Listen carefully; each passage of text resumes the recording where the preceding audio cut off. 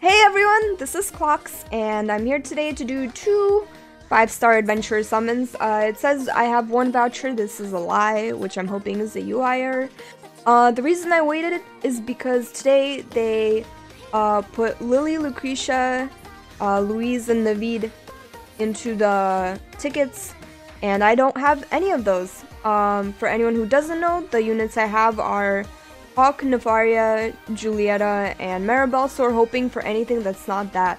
So we have 4 out of 13 units, that's about a 30.7% chance of getting a dupe, which we're not gonna get.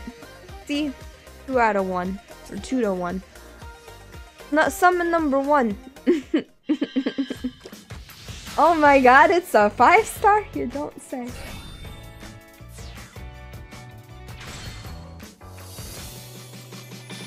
Yes! Chad Mikoto! Nothing more. HMS, baby! Hell yeah. Now I gotta get da Daddy Zanfried. Heck yeah. Heck yeah. Not Cug this time.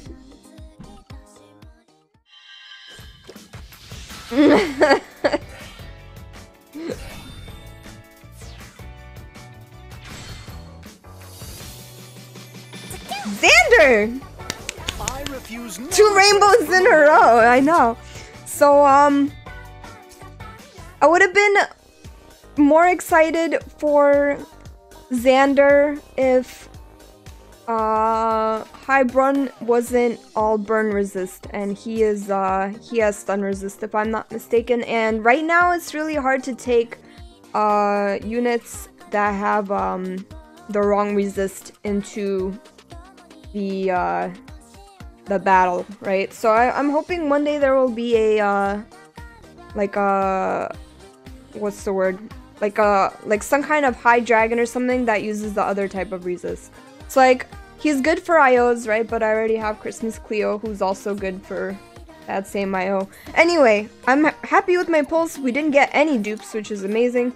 Um, so I want to thank everyone for watching. If you're watching this today, it's Christmas, so Merry Christmas if you celebrate it. If not, hope you're having a wonderful day, and I hope you have good luck on any pulls you're doing. Thanks for watching.